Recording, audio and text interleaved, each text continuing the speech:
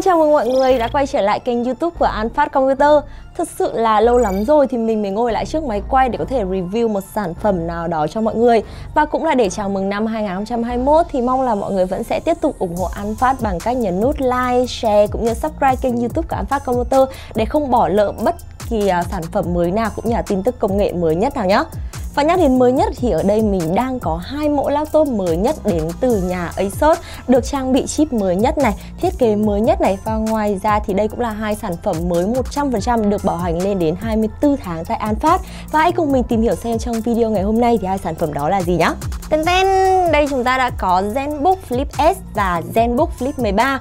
Về cơ bản thì hai mẫu laptop này tương đối giống nhau từ phần thiết kế cho đến các linh kiện bên trong và chỉ có một vài điểm khác nhau giữa hai mẫu laptop này nổi bật thì như là con chip, màn hình và dĩ nhiên là cả giá tiền. Thì đầu tiên chúng mình sẽ nói về điểm giống nhau trước nhé. Điểm giống nhau thì cả hai mẫu laptop này đều được làm hoàn toàn bằng kim loại với thiết kế cực cao cấp đến từ dòng ZenBook của Asus. Thì đây là mẫu laptop nhỏ gọn nhất thế giới thế nên cả hai mẫu laptop này nặng chỉ khoảng có 1,2 kg và mỏng chỉ có là 13,9 mm. Các bạn hoàn toàn có thể cầm bằng một tay rất là dễ dàng. Tính cơ động của con máy này cũng rất là cao và rất là phù hợp để có thể mang theo đi bất cứ đâu.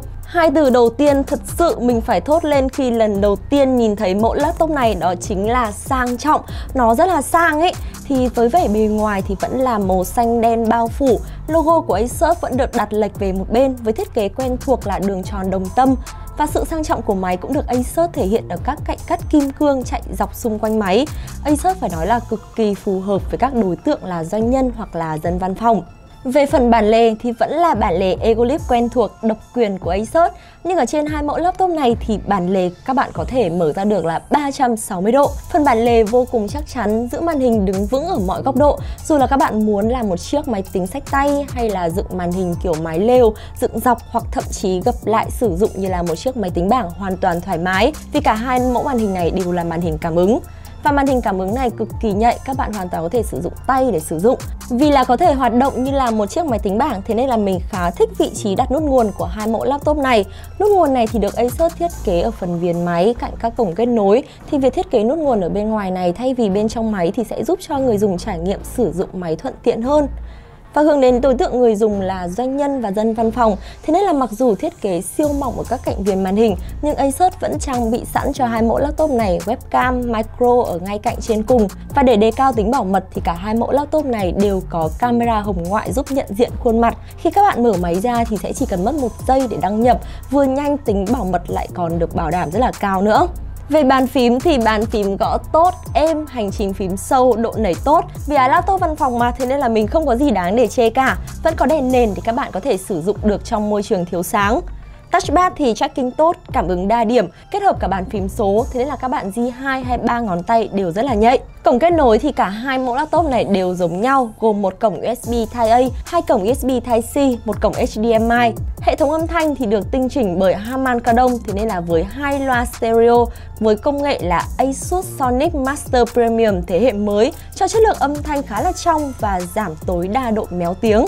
Thời lượng pin trên hai mẫu laptop này mình cũng không có gì đáng để bàn cãi khi viên pin là 4 cell 67Wh.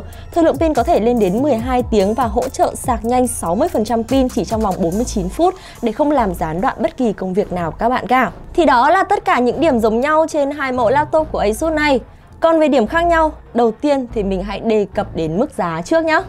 Về Asus ZenBook Flip S đang được bán với mức giá hơn là 38 triệu đồng Còn đối với Asus ZenBook Flip 13 có mức giá chỉ hơn 25 triệu đồng và cả hai mẫu laptop này thì đều đang được bán tại An Phát và đường link sản phẩm mình sẽ để ngay dưới mô tả video cho các bạn tham khảo.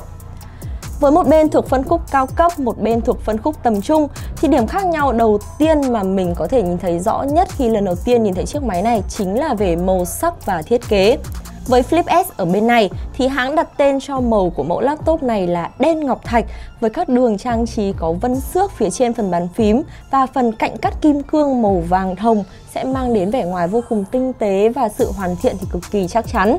Còn đơn giản và thanh lịch hơn thì các bạn hoàn toàn có thể lựa chọn mẫu phiên bản Flip 13 với màu đen xám kim loại với các cạnh cắt kim cương là màu bạc, thiết kế đồng bộ với máy. Và với Asus Flip S này thì à, với mức giá là gần 40 triệu đồng sẽ được trang bị những gì? các bạn sẽ có CPU Intel Core i7 1165G7, RAM 16GB, 1TB SSD, đồ họa Intel Iris Xe Graphics, về màn hình thì sẽ là màn hình 13,3 inch, màn hình là HDR OLED lên đến 4K Ultra HD cho hình ảnh cực kỳ chân thực và cực kỳ chi tiết với độ chính xác màu đạt chuẩn với giải màu là 100% DCI-P3. Khi các bạn nhìn vào chiếc màn hình này thì chắc chắn các bạn sẽ thấy là màu sắc của chiếc màn hình cực kỳ tươi, có chiều sâu và độ tương phản rất là cao. Và khi sử dụng thì các bạn có thể giảm độ sáng của màn hình xuống để giảm áp lực của mắt lên hình ảnh hiển thị mà vẫn rõ nét.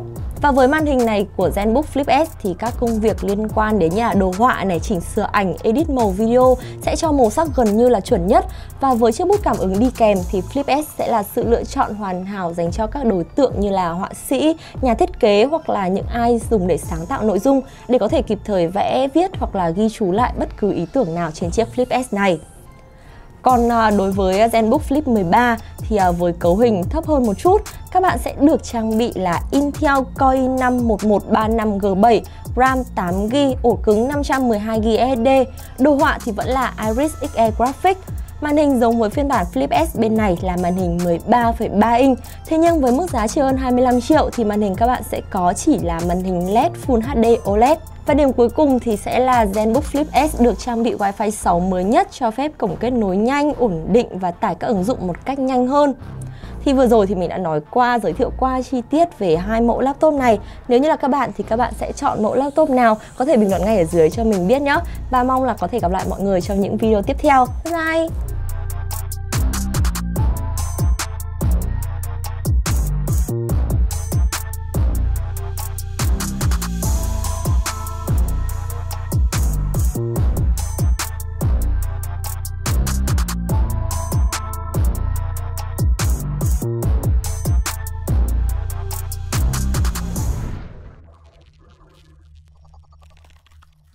Xin cảm ơn tất cả các bạn đã theo dõi hết video này và nếu như có thắc mắc về bất kỳ sản phẩm hay chương trình khuyến mại nào thì đường link tư vấn miễn phí cũng như là mua hàng mình sẽ để ngay dưới phần mô tả của video. Và nếu chưa đủ tiền để rước em nó về, đừng quên là An Phát có trả góp 0%. Nhớ like, share cũng như subscribe và để lại ý kiến của mình dưới phần bình luận nhé. Hẹn gặp lại mọi người trong những video tiếp theo.